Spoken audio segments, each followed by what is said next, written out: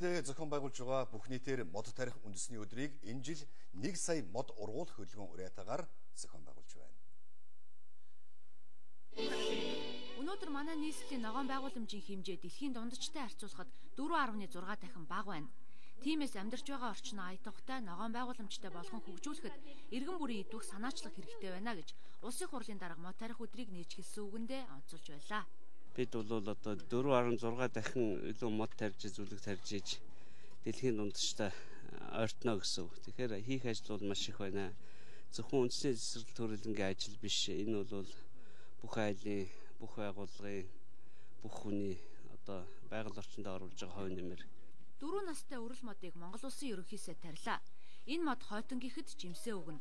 Засгийн газраас мод тарьж орчноо ногооруулах үйлсэд хувь нэмрээ оруулсан хүмүүст дэмжлэг үзүүлж урамшуулах ажлаа энэ жил үргэлжлүүлнэ гэдгийг ерөнхий сайд энэ үеэр тодтоглоо.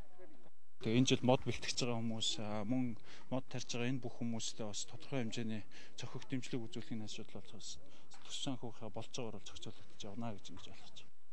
Үндэсний цэцэрлэгт хүрээлэнд 223 га талбайд 110 мянган гаруй мод ургаж байна жилийн дөрвөн үйлрэлт мод тарж болох шин технологи нэвтрүүлсэн учраас иргэд энд хизээч ирээд мод тарж болохоор болжээ. Энэ жил байгаль орчин ногоо хөгжил аялал жуулчлалын яамнаас 1 сая мод ургуулах хөдөлгөөнийг улс орон даяар өрнүүлж байна. Энэ хүрээнд иргэд байгууллага сум хороод хашаа болон орчин тойрондоо бичил цэцэрлэг байгуулах нэрэмжит ойтой болох чиглэлээр ажиллаж улсын хэмжээнд нийт 1.5 сая орчим мод тариад байгаа юм байна.